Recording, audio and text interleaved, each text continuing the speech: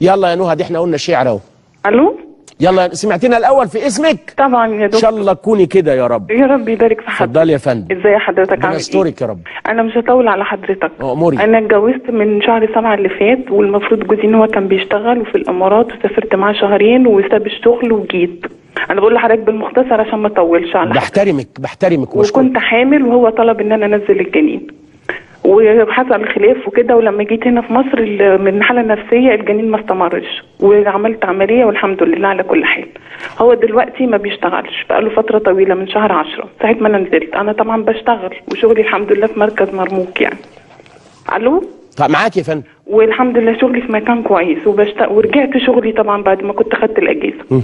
هو دلوقتي يا دكتور مش عايز يجيب أولاد خالص. يعني أنا قلت له بس أجيب أولاد وأنا عندي شغل ومالكش متجوز قبل كده مع أولاد من غيرك؟ لا. طيب. أول مرة. قلت بيقول لك إيه لما يقول لك مش عايز أجيب أولاد خالص؟ بيقول لك إيه؟ مش سامحة وأنا لسه ما مش بشتغلش طيب. وكده. قلت له أنا بشتغل وشغلي كويس ومش عايزة منك أي حاجة لغاية ما تشتغل. مفيش مشكلة غير دي يا نهى؟ نعم. مفيش مشكلة غير دي هي دي المشكلة اللي بيني وبينه. مم. قبل ما يتجوز ما كانش بيقول. قبل ما يتجوز ما كانش بيقول هنخلف سبعة؟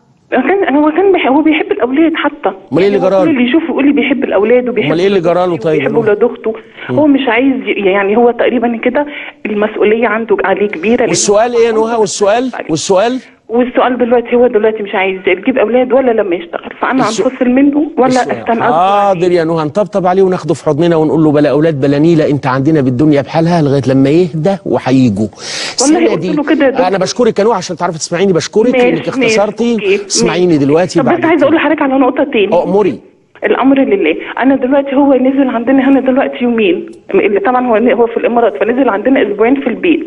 فيا دوبك بس عشان برضه موضوع الأولاد ساب البيت ومشي. ساب البيت وراح عند عند خالته. حاضر. برضه. النقطة دي كنت عايزة أقولها لحضرتك. الله يسترك كتر أنا خيرك. الموبايل بتاع حضرتك لما يشرفني يشرفني كلميني يشرفني. أنا بقول لنهى واللي زيها الفتوى اللي هي يلا طلب منه طلاق أبدأ كلام ده عكا عك عكا مش مدرستنا. ولكن في عوارض في نفسية. في نفسية هو بيمر بظروف صعبة. شاف كده. أجيب عيالي يبهدلوا وأنا بشتغلش ما أعرفش إيه. الشيطان غلب عليه. أنا سندي في كلمة نطبطب عليه ونقول له ولا عيال ولا نيلة وهو هاخد حبوب منع حمل. هعمل أي وسيلة. سندي في ده قول النبي صلى الله عليه وسلم سيدنا فيما رواه البخاري في صحيحه وغيره ما كان لنسمة أن توجد إلا بإذن الله. فلو ربنا رايد إنك تخلفي مع منع الحمل هتخلفي. كنا نعزل والوحي ينزل ولم ينهنا رسول الله صلى الله عليه وسلم وللي عايز يعزل يعزل.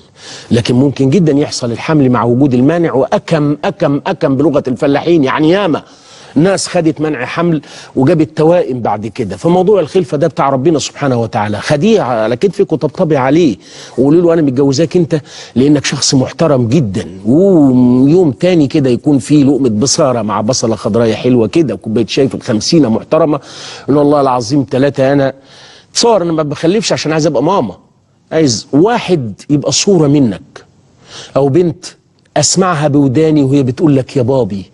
مع إني بقول لك يا بابي بس كلمة بنتك ارق من كلمتي ليك. ما أعرفش ليه يا أخي بيجيني الخاطر ولا بلاش خلاص اوعى تزعل نفسك. شوية شوية هنعالج بعض لغاية لما نبقى من المتقين.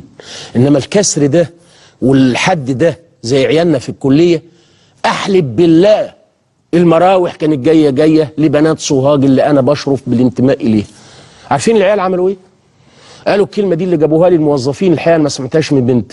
ولكن وأنا قاعد مع سياده العميد كده الدكتور عادل عبد رب وقال لي شفت العيال مشرفات بيقولوا لو ما ورناهمش العين الحمراء ما كانتش هتيجي المراوح. أنا أحلف بالله إنها كانت جاية. بس صدفت. وإحنا ياما بنربط صدف. يعني ممكن جدا واحد يكون بيعمل حاجة غلط.